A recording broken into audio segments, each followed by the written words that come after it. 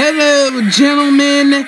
This is Project Badass Week 3 Recap, and I am here to present you a show, and I am your host, William Kennedy Fallow, and I am here to bring you the week three scores.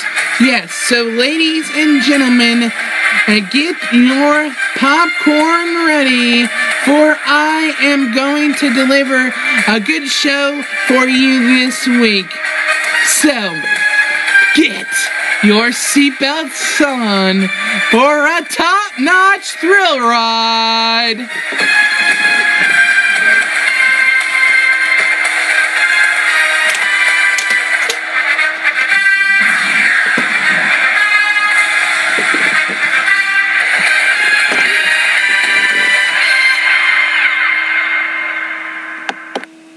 In this week's first score, Team Nunziato rebounds from his loss from the Monday Night Miracle of last week as Team Nunziato defeats the Playbook of Eli by a score of 90 to 81. Ray Rice leads Team Nunziato to a 20 point victory, while Chris Johnson for uh, the playbook of Eli scores a disappointing two point a two point game.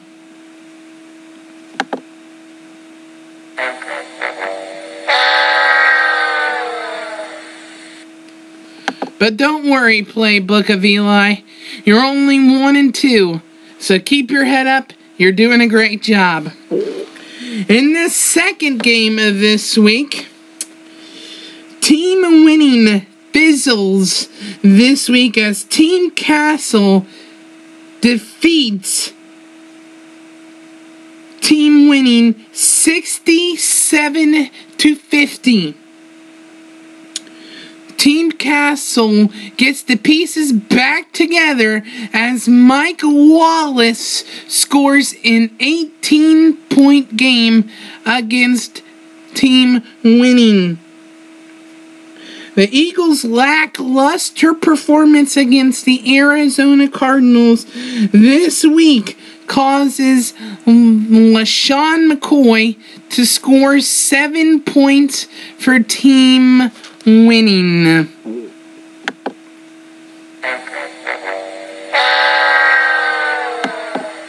But don't worry, but don't worry, team winning. You are still 2 1. But this week, the tiger blood ain't pumping for you this week, brother.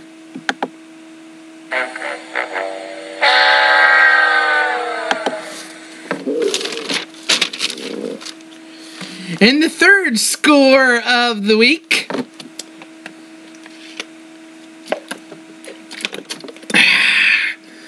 The Lucky Popcorn Poppers get luck on their side with a second, yes, a second 115 point game as the Poppers defeat Team Karshner 115 to 91. In a last minute decision by the Popcorn Poppers, the Poppers put Philip Rivers on the bench and started Andrew Luck as it made a 21 point difference to lead the Popcorn Poppers to victory. While Rob Gronkowski, Jordy Nelson, and Victor Cruz band together with a seven point performance. Yes, a seven point performance. Do you think three players of that caliber would come together for more than a seven point performance?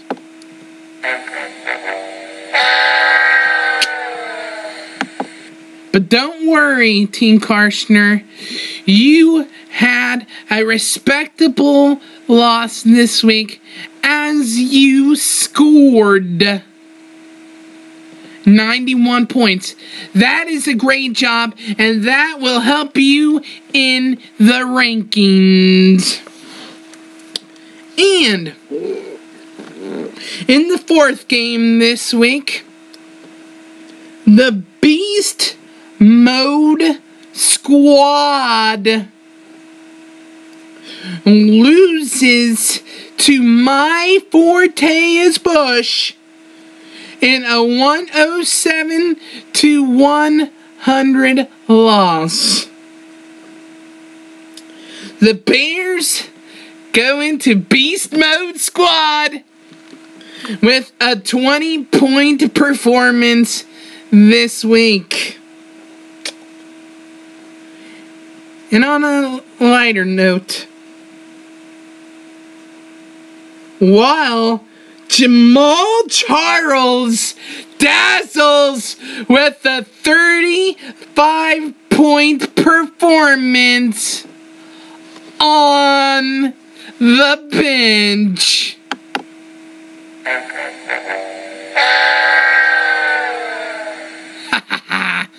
Thirty-five point performance on the bench. If you would have started Jamaal Charles Beast Mode Squad, you would have definitely, yes, you would have definitely won the game. Now, this might make you angry a little bit. You know what I mean?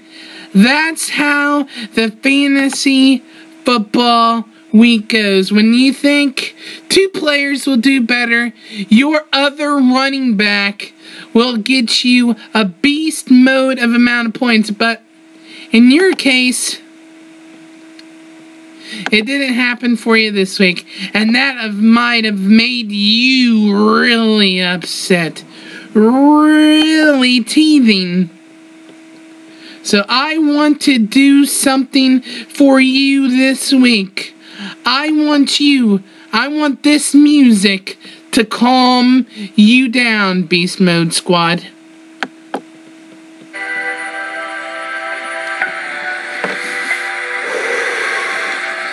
Just breathe in and breathe out as you listen to the dolphins and the calming music. Just let it calm you down. Jamaal Charles scored 35 points and you had him on the bench. But that's okay. Let the music calm you down.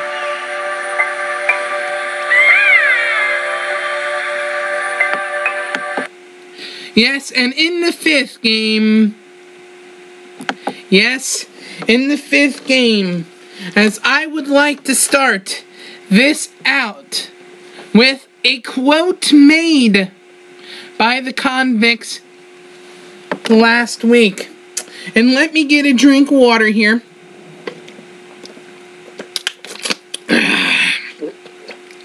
In the words of the convict, convict's owner, Joey Mina, this week I set my penis towards a new target. The reigning league champion Dwayne Whitebert. Well, the Brute Squad pulls a Lorena Bobbitt as they whack a whack it off with a 115 to 62 victory over the convicts. Calvin Johnson uh, leads the brute squad with a 22 point performance. The con the convicts was hoping to catch magic in a bottle this week with Kellen Winslow. But you know what? He wasn't able to catch a man because he wasn't able to catch a genie in a bottle this week. Wah, wah, wah. Here we go. Sorry, it took me a while to get that up. But the genie says no because Kellen Winslow scores one point. Yep, one point. While Tony Gonzalez had 15, but that wouldn't have made a difference, Joey, because you still got it whacked off. And you got whooped anyway. Now, it is time for this week's award winners. Here we go, ladies and gentlemen.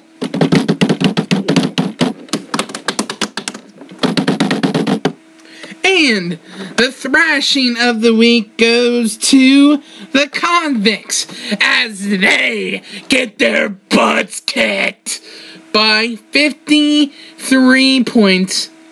Yes, 53 points. You gotta hand it to you, convicts. And that was brought to you by the Brute Squad. And in the second award, as I like to call the Joey Award, the Joey Go Award goes to, in the narrowest of margins, the Beast Mode Squad as they lose by seven points.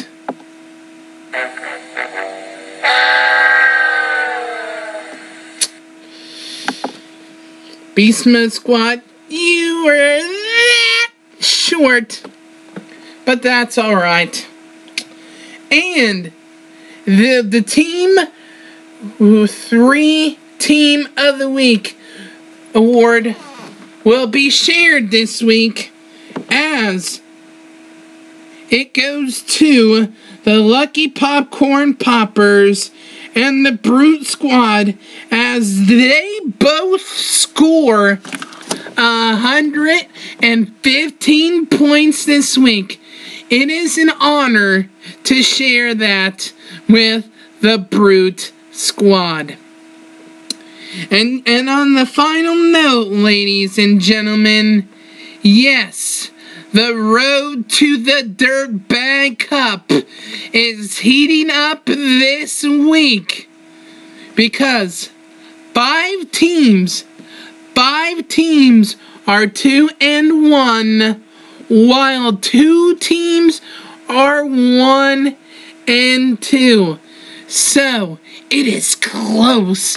Everybody has got a win, ladies and gentlemen. The road to the Dirt Bag Cup is heating up.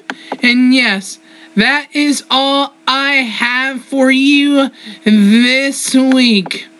And I am your host.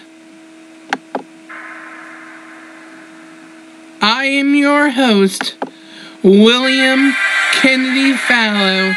And everybody, I want you to have a great week. Yes, a great week. And I am your host. And I am your host, William Kennedy Fallow. You all have a great week. And I leave you with the Dolphins. This is a presentation brought to you by Project Badass. Thank you very much.